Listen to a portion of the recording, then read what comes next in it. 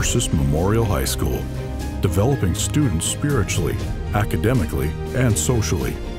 It's far more than a diploma. You get the value of a Catholic education, the knowledge you can go anywhere, do anything, and the Garces family will be there by your side. Garces Memorial High School, founded on faith, rooted in tradition, growing in excellence since 1947.